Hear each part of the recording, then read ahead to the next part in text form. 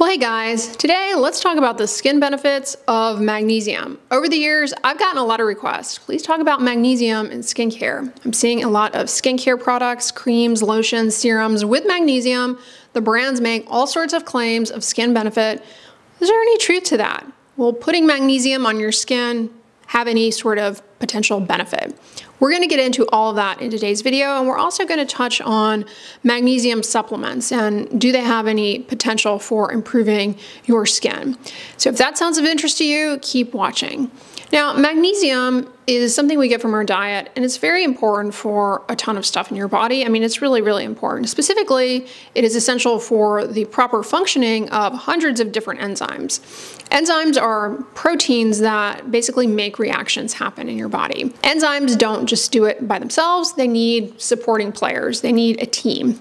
And magnesium is on that team for a lot of different enzymes. These enzymes carry out so many different reactions, and we're talking big picture things in our body. You have to have a good magnesium to build strong, healthy bones and for maintenance of bone health. In fact, over half of the magnesium in your body is actually stored in your bones. Magnesium also does a lot for electrical signals throughout your body. Your, your body is like a house.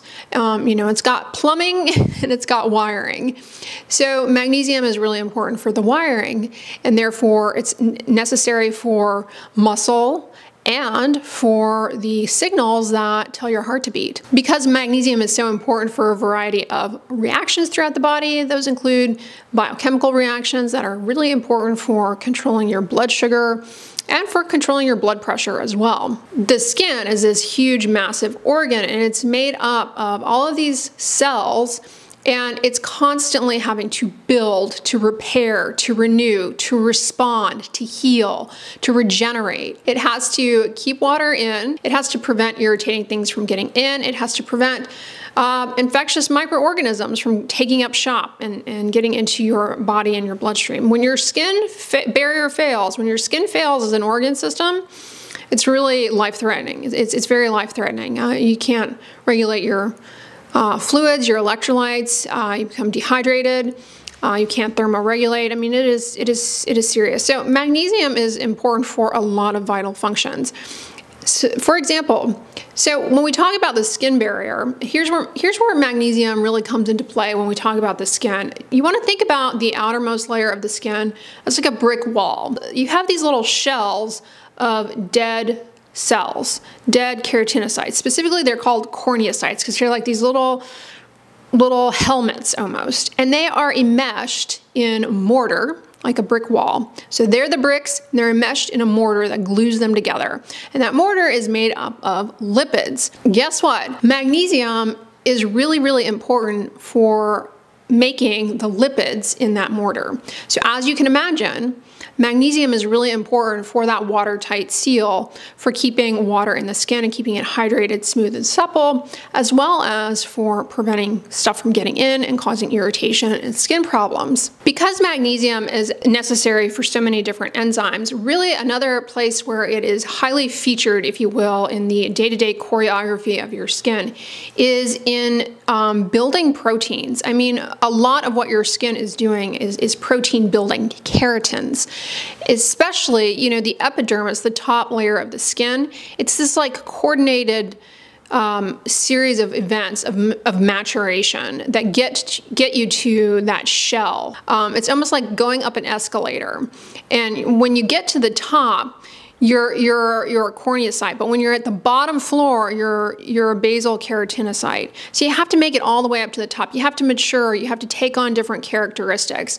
All of that requires enzymes, proteins, signals, the immune system coming in and serving things that go awry. And not to mention, we have day to day environmental stressors assaulting our skin on a regular basis. And that can all lead to, you know, oxidative stress, which damages the proteins, the DNA, the lipids in the skin, and your skin has to respond to it. I mean, it's like a lot going on. It's, it's, it's, it's nonstop chaos in the skin, just trying to coordinate everything. So, magnesium is really important in that regard for simply protein building. That's the epidermis. But then you've got the dermis, the stuff stuff down below, you have all of this um, collagen, right? That gives the skin a lot of its support. You also have elastin, another protein. These things are also responsible for giving the skin elasticity, snap, recoil. And as you guys know, the, the goal is for preservation of good, healthy collagen because when that starts to go down, which is inevitable, it's part of the natural aging process, that's when we develop uh, wrinkles but we can develop them more quickly due to excessive exposure to an environmental aggressor, sun. The UVA rays come in and you know destroy the collagen. So good magnesium levels are really important not only for the proteins that are being made in the epidermis, but also for everything that is being formed down in the dermis. And so if you are pursuing skincare products, ingredients for remedying collagen, aiming to boost collagen or preserve collagen, magnesium is right there. Right there at the round table, trying to strategize that collagen preservation. So it needs to be there. Magnesium also helps with water content in the epidermis. And I've talked about this before. Not, you know, not only is magnesium essential for the function of a variety of enzymes, but then you've got water content in the in the epidermis. Magnesium helps bring some of that in, and when the water content is optimal, these enzymes are able to do what they need to do. Magnesium also comes into play when we're talking about healing and recovery, especially wound healing. Like if you get a cut or a scrape, magnesium is really important for that. Part of the healing process involves building proteins and also involves, you know, restructuring things, different cells coming in, coordinating events. Enzymes are playing a role. I mean, there's a lot to coordinate and magnesium is is there playing a role in that as well. And of course, your skin sees all of these environmental stressors throughout the day. Pollution, of course, already we talked about ultraviolet radiation, infrared radiation, heat, visible light, all that you know, can lead to what's called free radicals. And too many free radicals beyond what your skin can kind of handle leads to something called oxidative stress, which also contributes to premature skin aging. Magnesium is really important for how different enzymes in the skin defend against free radicals. So, should we just be putting it on our skin? There's some preliminary research to support the benefit of applying magnesium to your skin in, say, a moisturizing cream. Specifically, if you have atopic dermatitis. Now, it's still Eczema Awareness Month, so if you're not aware, eczema is an umbrella term for many different skin conditions, seven to be exact. But one of the ones that you probably think of the most is actually atopic dermatitis. Um, and in atopic dermatitis, patients have a problem with their skin barrier. Specifically, remember we talked about the bricks and mortar, the lipids between the bricks, the, the lipids between the corneocytes. A really important lipid for the skin barrier is ceramides. And patients who have atopic dermatitis often have deficiency in ceramides, and that underlies part of their skin barrier issues and why their skin is vulnerable to losing water and for the penetration of irritants and aeroallergens that trigger flares of red, itchy, inflamed rashes that ooze and weep fluid that is, you know, the telltale sign of impaired skin barrier is an atopic dermatitis flare up. People have actually looked at patients who have atopic dermatitis and they gave them a cream with magnesium. The cream also had ceramide in it. And I've talked about this in other videos, but ceramides, when applied to the skin, may help improve your skin's ability to make some of its own ceramides. This particular study looking at people who have atopic dermatitis, they gave them a cream that had ceramide and magnesium. Or they gave um, other people, other patients with atopic dermatitis in the study, just a basic cream without either of these ingredients. Then another subset of people in the study got a hydrocortisone cream. And they applied their respective cream daily. And at the end of the study, people who used the ceramide magnesium cream had better parameters of skin barrier health uh, objectively. Things like transepidermal water loss, moisture content. So it, they had better in comparison to the basic cream. Their parameters were similar to the hydrocortisone cream. Now, if you remember back to my videos on hydrocortisone or topical steroids, um, you know, they're beneficial. They're a mainstay of, of management for eczema, but they, they have side effects. So we're always seeking for alternatives. And it's been, it's well established that patients who have atopic dermatitis, if they consistently moisturize, it can help cut down on their need to use topical steroids because uh, it helps cut down on recurrences of flares. And so, um, you know, it's great when we find things that lead to results comparable to a topical steroid because you know, there are side effects to be had with them.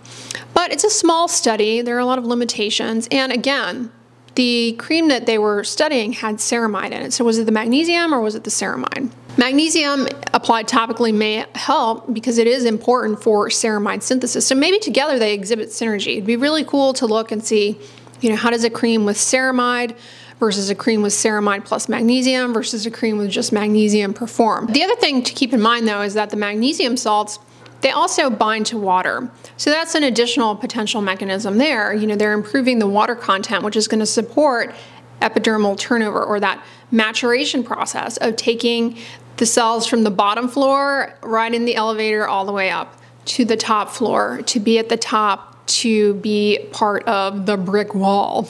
There's another study looking at topical magnesium for diaper rash. Diaper rash, basically the skin barrier gets broken down because of the trapping of moisture plus friction on the skin in the diaper areas uh, under, under a diaper. The mainstay for helping to prevent that and control it is the use of something called a barrier cream. Now I have a video all about barrier creams.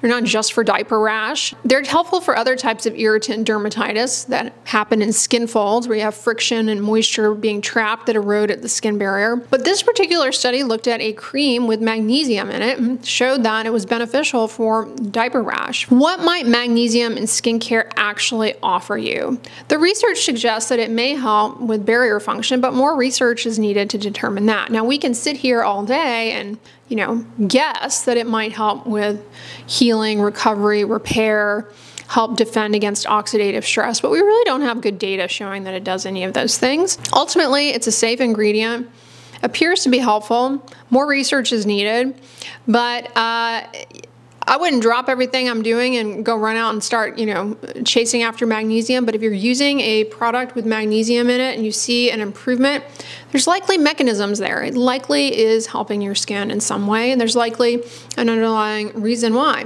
Now let's talk about magnesium supplements because a lot of people take magnesium supplements. You know, they're um, common these days in like a lot of electrolyte drinks, and it's also found in, well, milk of magnesia laxatives, antacids. Should you take a magnesium supplement? Uh, be careful. So here's the thing about magnesium. Come to find out, our soil is lower in magnesium these days than maybe it once was. So there's some question that maybe we're not getting optimal levels from our food all the time. But then again, we don't always eat the best diet these days. A lot of people, unfortunately, you know, subsist off of highly processed, ultra processed foods that maybe don't always have the best nutrient density profile to them. Who knows, just a guess.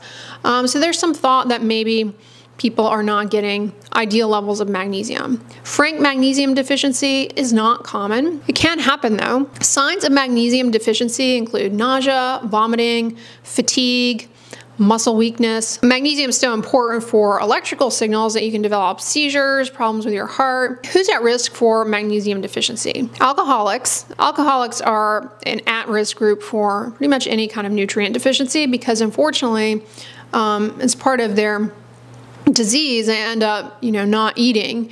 Uh, they just subsist off of alcohol, which is not the most like nutrient dense food, if you will. Uh, so they are definitely an at-risk group for uh, magnesium deficiency, among other things. And then there's also people who have malabsorption problems. Uh, if you have an uh, inflammatory bowel disease like Crohn's disease, patients who have type 2 diabetes, and older adults, you know, with age, we lose appetite. You know, older adults, unfortunately, you know, they're prone to becoming frail. Currently are existing in an epidemic of loneliness, and older adults are really an at risk group, and poor appetite poor nutrition is, you know, just not a good thing in that group. Uh, so that's definitely a situation where you can run into poor magnesium levels. You may have a suboptimal magnesium level and you're not going to have necessarily any type of symptoms or really feel any type of way. So it becomes this question of like, well, you know, would supplementing be beneficial? I would encourage you rather than supplementing uh, to lean in more to magnesium rich foods, spinach, pumpkin seeds, legumes, nuts, bananas. If you're not able to eat these foods, if you have to be on some sort of restrictive diet for health reasons, make sure you're following with your healthcare provider if you have to do that, um, and find out you know how best to meet your magnesium requirements so that you don't run into deficiency problems or insufficiency problems, we'll say. Supplementing with magnesium may be appropriate in certain situations. A lot of people, you know, take a magnesium drink, electrolyte drink, um, and if you're in otherwise good health, what will happen is that if you're low on magnesium, your body will kind of up the ante, if you will, on absorbing magnesium when you are low, uh, you know, on the low end. So whether that be from foods or supplements, and then anything above and beyond that will often just get passed through your urine. But you definitely can't overdose on magnesium supplements. So you want to be careful. It's virtually impossible to overdose on magnesium from food, but you certainly can overdose on magnesium from supplements. It can cause nausea, vomiting, diarrhea, poor mood, depression, low blood pressure. It, can definitely be harmful to your health. It can cause kidney problems. So, you know, be careful with magnesium. Uh, you don't want to overdo it. And a lot of people don't realize it. You know, maybe they're interested in trying a magnesium supplement, but pay attention to other things that you are taking in. Like I said, electrolyte drinks, sometimes people don't think about those, but a lot of beverages nowadays, energy drinks even, will have magnesium added. Um, you know, they add all sorts of vitamins and things. So, you know, you want to be careful that you're not getting too much. Now, if you have insufficient or even deficient magnesium, sure, improving your magnesium levels definitely will likely translate to healthier appearing skin. It just makes sense. so important for so many things. It makes sense. But uh, just to arbitrarily take a magnesium supplement in the absence of any kind of insufficiency in the hopes of getting better skin, I would caution you against that. I would strongly encourage you, however, to lean into more magnesium rich foods and incorporating them into your diet.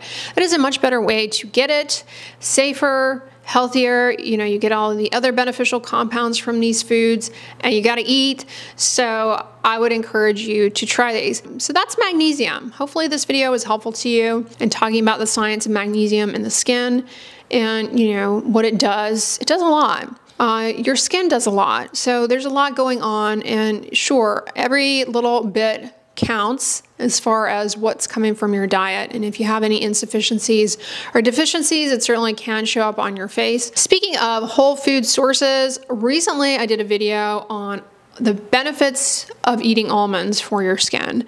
You're going to want to check that video out next. I'll put it on the end slate. But if you guys like this video, give it a thumbs up, share it with your friends, and as always, don't forget, sunscreen and subscribe. I'll talk to you guys tomorrow.